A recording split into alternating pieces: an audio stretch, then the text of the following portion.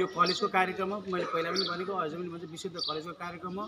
बडा महाराज पृथ्वीनाथ शाहको शालिग उद्घाटन गर्ने कार्यक्रम रहेको थियो। त्यो उद्घाटन कार्यक्रममा समस्त हामी झापा जिल्लाका बासिन्दाहरूले चाहिँ राजालाई स्वागत गर्नका लागि हामी उपस्थित भएका हौँ।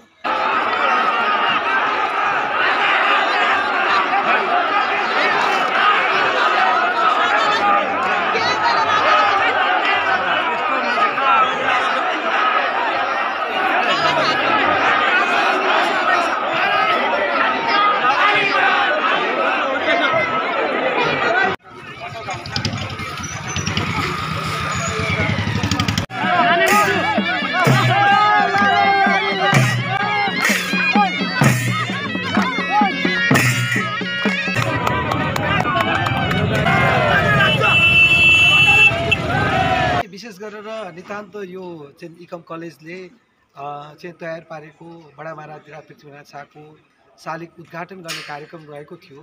त्यो उद्घाटन कार्यक्रममा समस्त हामी झापा जिल्लाका बासिन्दाहरूले चाहिँ राजालाई स्वागत गर्नका लागि हामी उपस्थित भएका हौँ। हाम्रो गौरव राष्ट्र गौरव बडा महाराजको चाहिँ जुन एउटा त्यो जुन हामी बिचको गौरव रहनुपर्ने हामी बिचमा ज्ञान रहनुपर्ने। हामी बिचमा सदाचार रहनुपर्ने जुन कुराहरू थियो त्यो विषय चाहिँ अलिकति तपाईँको चाहिँ खस्किँदै गएर आएको धमिलिँदै गएर आएको प्रस्टिँदै प्रस्टिनु अब छाडिसकेको थियो। सो हाम्रो नानी बाबुहरूमा यही कुरा हाम्रो राष्ट्र निर्माता हाम्रो राष्ट्र विभूति उहाँको विषयमा हामीले अलिकति उजागर गर्ने हाम्रो पनि दायित्व हो। त्यही दायित्व बन बन गर्दै हामीले यो स्थापना गऱ्यौँ अँ, हाम्रो प्राङ्गणभित्र हाम्रो नानी केटाकेटीहरू हुन्। हामीले हाम्रो नानी केटा साढे चार सय पाँच सयजना विद्यार्थीमा आउँछन् सबैजना आइहाल्छन्। अभिभावक केही आउला हामी सबैजना हुन्छौँ भने त्यही छ सात सयजनाको हाम्रो प्राङ्गणभित्रको हाम्रो तयारी नै त्यही थियो आज चाहिँ इकम हजुर। कलेज बिर्ता मोडमा होइन हाम्रा राष्ट्रिय एकताका प्रतीक राष्ट्र निर्माता पृथ्वीनारायण शाहको चाहिँ भर्खरै आज शालिका अनावरण कार्यक्रम चाहिँ सम्पन्न भएको छ। त्यसमा चाहिँ पूर्व राजा श्री पाँच ज्ञानेन्द्र वीर विक्रम शाहबाट भर्खरै शालिका अनावरण सम्पन्न भएको छ। सरको परिचय यहाँ सर यही विद्यालयकै हुनुहुन्छ होइन? हजुर सरको परिचय। हजुर। मेरो नाम आलोक कार्की म यस संस्थाको संस्थापक अध्यक्ष एवं सिइओ कार्यकारी प्रमुख। हजुर। हाम्रो जानकारी गराइदिनु। बहत्तर साल। हजुर। होइन दुई हजार बहत्तर सालमा हामीले स्थापना गरेको। हाम्रो अ, बित्रामोड हामी पाँचमा थियौँ पहिला। हामी यो स्थानमा आएको एक वर्ष भइसक्यो एक। वर्षभित्र अगाडि बढिसक्यो। सो त्यही छ हामी यो ठाउँमा। आएको हाम्रो कलेजको विषयमा थोरै तपाईँलाई इन्ट्रोडक्सन दिनुपर्दा हामी अ, इकम कलेज कमर्समा अहिले केन्द्रित छौँ। कमर्स चाहिँ स्टडिजमा। कमर्स अन्तर्गत हामी तपाईँको कम्प्युटर साइन्स बिजनेस स्टडिज अनि होटल म्यानेजमेन्ट तिनवटा चाहिँ हामीले विषयलाई हामीले अध्यापन गराइरहेको छौँ। विद्यार्थी नानी बाबुहरूमा कतिसम्मलाई? एघार बाह्र। एघार यहाँ बाह्र। चाहिँ हाम्रो एघार बाह्र हुन्छ। एघारबाट हाम्रो नर्सरीदेखि दससम्मको छँदैछ। यहाँ चाहिँ हामी एघार बाह्रलाई एघार बाह्रले मात्रै गर्छ। नर्सरीदेखि दससम्म चाहिँ कहाँ? हाम्रो एसेन्ट एकाडेमी भन्ने आफ्नै संस्था छ। हजुर। त्यो चाहिँ कहाँ हो? त्यो भनेको हाम्रो बित्तामा दुई वर्ष तपाईँको यहाँबाट अलिकति तपाईँको पश्चिम पर्न जान्छ। हजुर। यहाँ चाहिँ विद्यार्थीको अवस्था कस्तो छ? यहाँ विद्यार्थी ठिकै छ। राम्रै छ। सन्तोषजनकै छ। हाम्रो हजुर। करिब पाँच सय प्लस थोरै विद्यार्थीहरू छन्। हजुर।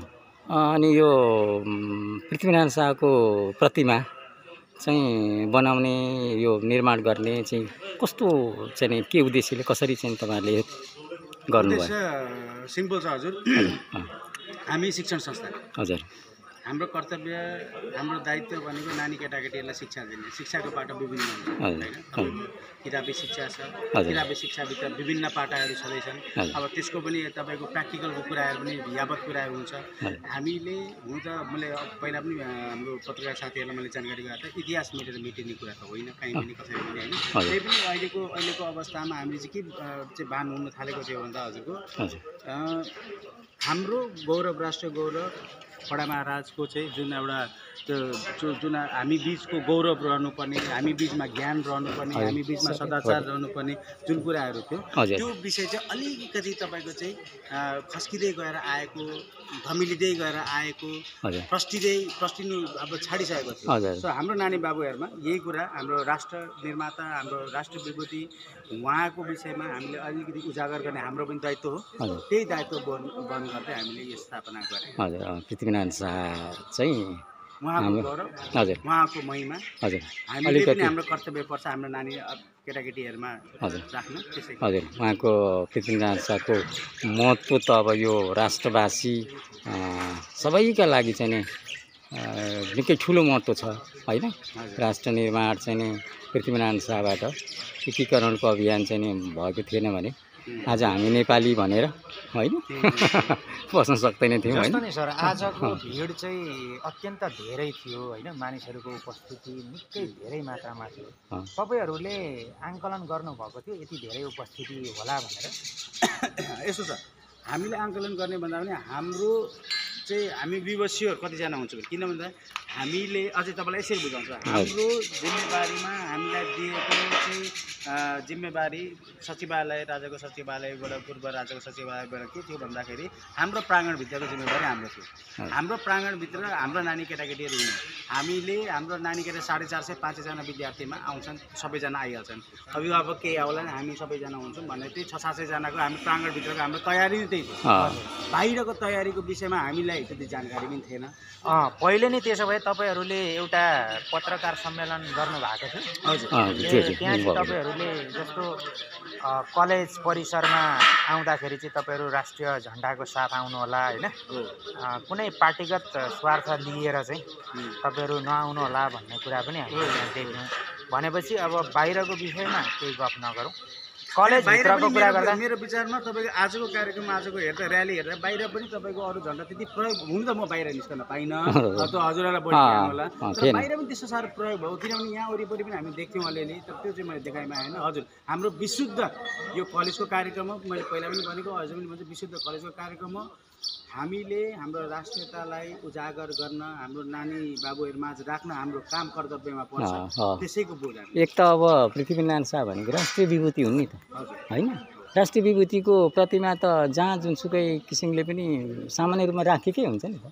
एउटा हिसाबले होइन? राष्ट्रिय मलाई थाहा छैन यहाँभन्दा अगाडि। स्कुल कलेजमा राख्नुभएको थियो यो चाहिँ हामीले एउटा स्टेप फर्दर लिएको। नयाँ युवा पिँढीले केही न केही गर्दा केही न केही नयाँ त हुनु पऱ्यो नि त। सबै कुरा पुरातन पुरातानिक नै हुनु पर्ने अँ। भने त। हामी चाहिँ नयाँ पिँढीले के चाहिँ नयाँ? अँ, सो हामीले गरेको नयाँ पिँढी नयाँ पिँढीको अब शिक्षा संस्थाहरूले गर्ने भनेको यी कुराहरू सिक्नुपर्ने कुरा हजुर सर अहिले पछिल्लो समय तपाईँहरूले मुख्य विषयहरू के के अध्यापन गराउँदै हुनुहुन्छ अनि कलेजको त्यस्तो केही भावी रणनीतिहरू छ भन्नुपर्ने? अँ, अब हामीले पढाउने भनेको कमर्स। कमर्समा हजुरको कम्प्युटर साइन्स बिजनेस स्टडिज अनि होटल म्यानेजमेन्ट हो। अब भावी रणनीति एसएस त्यस्तो साह्रो हामीले धेरै अहिले त्यो छैन। हामी जे छ इन जेनरल हाम्रो कलेजमा पढाउने शैलीलाई जहिले पनि नवीनतम राख्ने हाम्रो जहिले पनि रणनीति हुन्छ। रनिङ प्रोसेस हो त्यो हाम्रो। नयाँ तरिकाले तपाईँको चाहिँ मोडर्नाइज साइन्टिफिक तरिकाले प्र्याक्टिकली इम्प्लाइ गर्ने गरेको त्यो हाम्रो जहिलेको पनि रणनीति त्यही नै रहन्छ। त्यस्तो एसएस कुनै युज त्यस्तो रणनीति। भनेपछि जे होस् क्वालिटीलाई मध्यनजर गरेर अध्यापन गराउने राम्रो प्रोडक्ट उत्पादन गर्ने। अब रणनीति थपियो भने फेरि जानकारी। गराउने। यो भौतिक अवस्था विद्यालयको सामान्य है।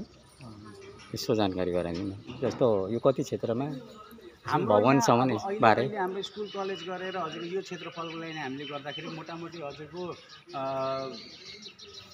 सात कट्ठा सेरोफेरो पुग्न जान्छ। अनि- भवन त्यो भवन दुइटै गरेर अनि। भवनहरू उता पल्लोपट्टि पनि हो। त्यो तिनवटा भवन मुख्य चाहिँ भनौँ न अहिलेको लागि। अँ, तिनवटा भवनमा। प्रशासनिक भवन विद्यालय अँ, शैक्षिक अध्यापनको लागि सबै कुरा यसमा चाहिँ ल हवस् हवस् सरी धन्यवाद। जानकारी दिनुभयो यहाँलाई धेरै धेरै धन्यवाद। स्वागत छ हजुरलाई है। पहिले हजुरले अलिकति आफ्नो परिचय दिनु त। नमस्ते म रविन्द्र लिङ्गदेन। म हल्दीबारी गाउँपालिकाको अध्यक्ष। हजुर। आज चाहिँ यो इकम कलेज बिर्ता मोडमा हजुर। राष्ट्रिय निर्माता पृथ्वीनारायण शाहको शालिग चाहिँ पूर्व राजा ज्ञानेन्द्र वीर विक्रम शाहबाट अनावरण कार्यक्रम चाहिँ होइन भर्खरै सम्पन्न भएको छ। यसमा चाहिँ है।